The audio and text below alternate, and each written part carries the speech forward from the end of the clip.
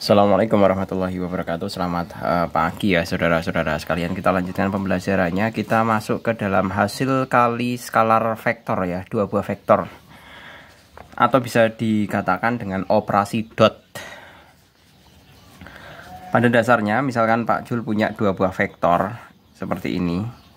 Yang satu vektor A dan satunya vektor B.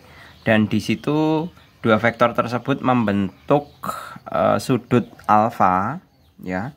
Kayak gini maka perkalian dua vektor tersebut perkalian skalar dua buah vektor tersebut atau a vektor a dikalikan vektor b itu adalah panjang a dikalikan panjang b dikalikan kosinus sudut keduanya. Kosinus sudut keduanya adalah alfa. Seperti ini. Nah ini adalah rumus dasarnya mengenai uh, vektor perkalian vektor skalar. Kita langsung mulai pembelajarannya untuk pemahaman soal nomor 1. Di situ ada vektor A dan B membentuk sudut 60 derajat di mana panjang vektor A dan panjang vektor B adalah yang A3, yang B3. Maka uh, vektor A dikalikan vektor A dikurangi B hasilnya berapa? Nah, maka kita bisa menuliskan bahwa vektor A dikalikan dengan vektor A dikurangi vektor B seperti ini ya. Sama dengan kita bisa kalikan satu persatu seperti ini. Maka yang pertama adalah A dikalikan A kemudian dikalikan sorry dikurangi vektor A dikali vektor B. Nah ini nanti yang ini nanti yang bentuknya seperti ini ya jadi kita punya vektor panjang vektor A dikuadratkan dikurangi panjang A dikalikan panjang B dikalikan kosinus alfanya. A-nya jelas 4 ya di sini dituliskan jadi 4 kuadrat dikurangi 4 dikalikan 3 kosinus alfanya adalah kosinus 60 derajat seperti ini sama dengan 16 dikurangi 4 kali 3 Kosinus e, 60 derajat itu adalah setengah ya. Nah, tinggal dibagi ini 2 sama dengan 16 dikurangi 6 sama dengan 10. Selesai. Jawabannya adalah yang E. Kemudian yang nomor kedua. Diketahui titik-titik P, Q, dan R apabila PQ mewakili U dan QR mewakili V maka uh, vektor U dikalikan vektor V adalah Nah, kita bisa cari masing-masing unsur U dan unsur V-nya. Bagaimana caranya? Kita tulis terlebih dahulu bahwa vektor U itu sama dengan PQ atau vektor PQ. Maka kita bisa menuliskan Q dikurangi P. Kan seperti itu. Q-nya adalah 214, 214 dikurangi dengan P-nya adalah min 1 min 1 2 dan 7 tinggal kita kurangkan 2 min min berarti plus ya. 3 1 min 2 itu min 1 seperti ini kemudian 4 dikurangi 7 adalah min 3 nah seperti ini. Nah kemudian kita tinggal cari unsur V nya vektor V sama dengan QR ya. Seperti ini. Maka kita bisa menulis R dikurangi Q sama dengan R-nya kita punya 6 min 32 6 min 32 dikurangi dengan Q-nya kita punya 214 tinggal kita kurangkan. 6 kurangi 2 itu adalah 4 min 3 min 1 min 4 2 min 4 itu min 2 nah seperti ini. Kemudian di sini ditanyakan adalah bahwa vektor U dikalikan vektor V. U kali V Nah, mestinya kan harus ada uh, sudutnya ya. Tapi di sini tidak ada atau tidak diketahui sudutnya. Kalau tidak diketahui sudutnya, ya sudah, kita cukup kalikan unsur-unsur vektornya.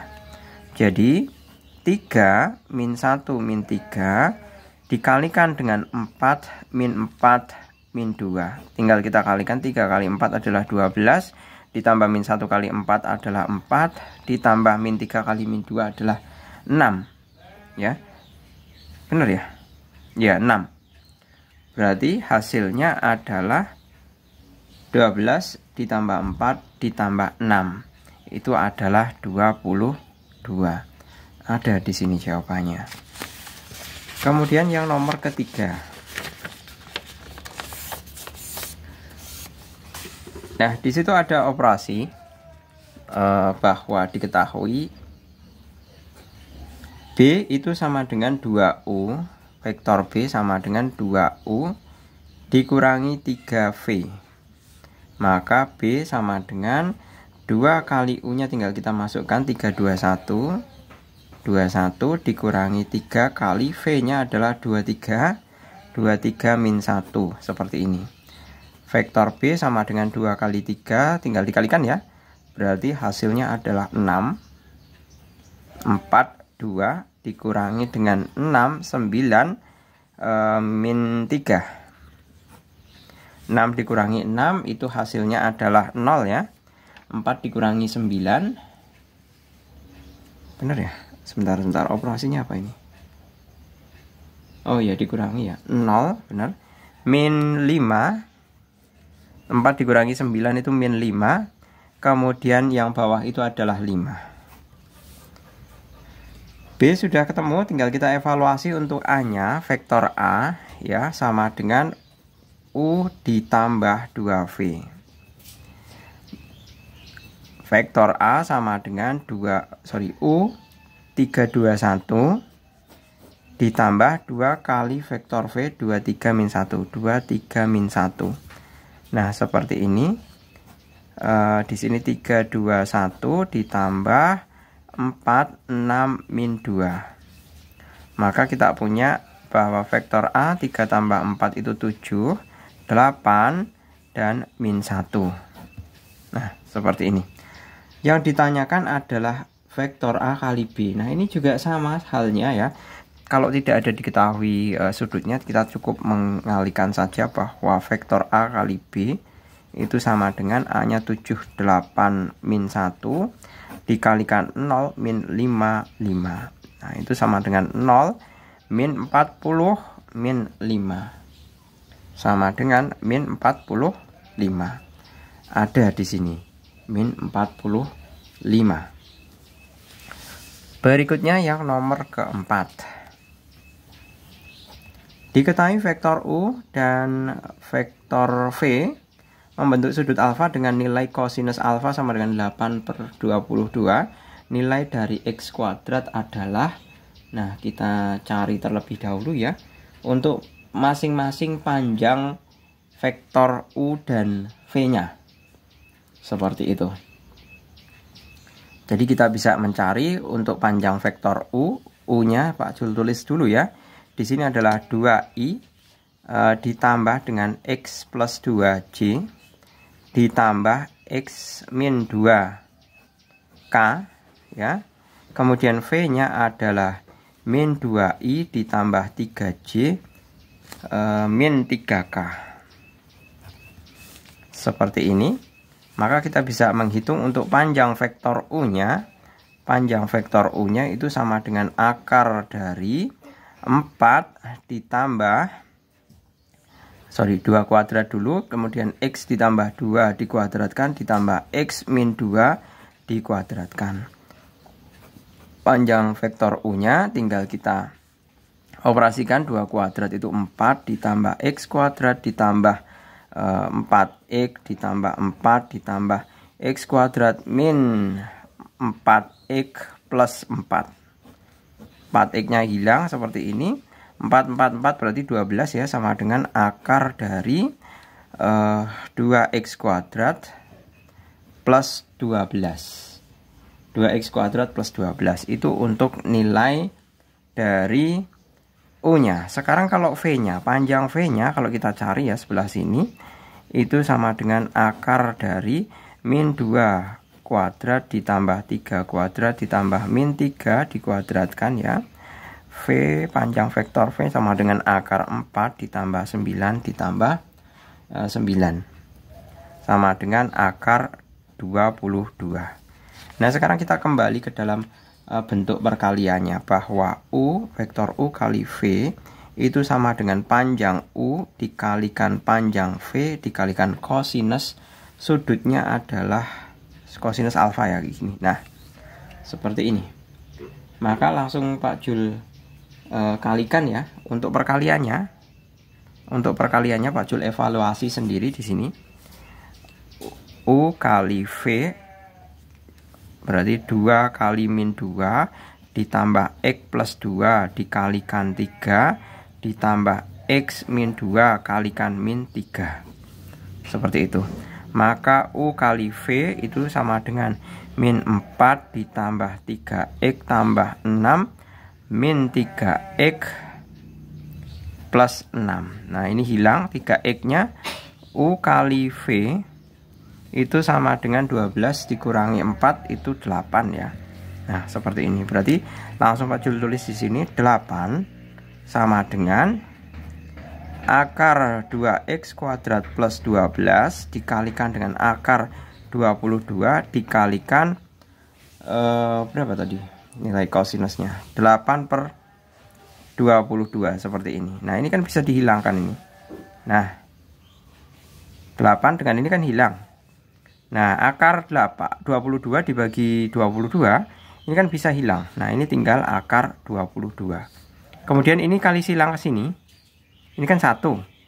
Tarik ke sini berarti akar 22 sama dengan akar 2x kuadrat plus 12. Ini jangan bingung ya, akar 22, ini 22. Soalnya apa? 22 itu bisa ditulis sebagai akar 22 kali akar 22, ya. Makanya kan bisa dicoret ini dengan ini. Seperti itu. Kemudian ini bisa dikuadratkan ya, dikuadratkan kalau saling dikuadratkan kan hilang. Berarti 22 sama dengan 2x kuadrat plus 12. 2x kuadrat sama dengan 22 kurangi 12. Maka 2x kuadrat sama dengan 10. Maka kita bisa tulis bahwa lanjut ke sini ya. Ini bagi 21 bagi 25 berarti x kuadrat sama dengan 5. Ya sudah, selesai. Yang dimintakan x kuadrat.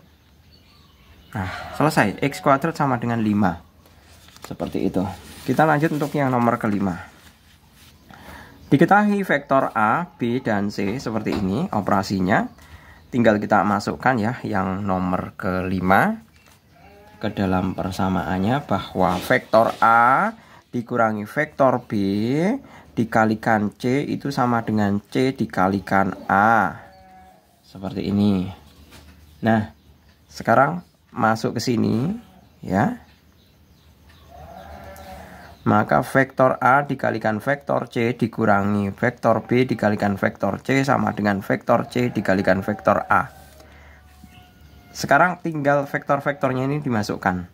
Untuk yang pertama A itu 101 dikalikan dengan C 213 dikurangi vektor B itu adalah X34 Kemudian vektor C-nya 213 sama dengan C-nya 213 dikalikan A-nya adalah 101.